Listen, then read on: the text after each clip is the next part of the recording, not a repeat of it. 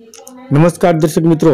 બે હજાર ચોવીસની લોકસભાની ચૂંટણી માટે ભારતીય જનતા પાર્ટીની જે પ્રથમ યાદી આવી તેમાં અમરેલી લોકસભાની વાત કરીએ તો અમરેલી લોકસભાની અંદર એવું કહેવામાં આવી રહ્યું હતું કે વર્તમાન સાંસદને બદલાવી કોઈપણ નવા ઉમેદવારને ટિકિટ આપવામાં આવશે.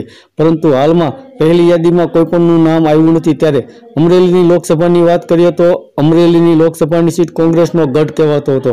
આ પહેલા કોંગ્રેસ પાસે અમરેલી જિલ્લાની પાંચે પાંચ ધારાસભાની સીટો હતી. ત્યારબાદ ગત વિધાનસભાની ચૂંટણીમાં ભારતીય જનતા પાર્ટીએ પાંચે પાંચ વિધાનસભાની સીટો જીતી અને હાલમાં નારણભાઈ કાસડિયા જે છે તે અમરેલીના ત્રણ ટર્મથી સાંસદ છે અને ત્રણ વખતથી ભારતીય જનતા પાર્ટીના સિમ્બોલ ઉપર જીતતા આવે છે. આ સીટ ઉપર અમરેલીની સીટ ઉપર પાટીદાર સમાજનું મતદાન વધારે છે. બાવીસ ટકા જેટલું છે.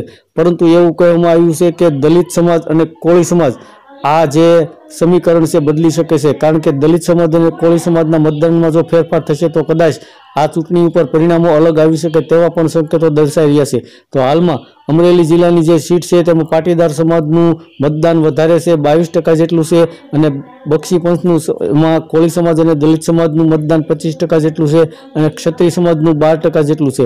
તો અમરેલી લોક, લોકસભાની સીટ છે તેની અંદર પાટીદાર સમાજનું મતદાન ભલે વધારે હોય પરંતુ દલિત સમાજ અને કોળી સમાજ કદાચ આ સીટની અંદર પરિણામોમાં બદલાવ કરી શકે તેવા પણ સમાચાર પ્રાપ્ત થઈ રહ્યા છે. ધન્યવાદ દર્શક મિત્રો.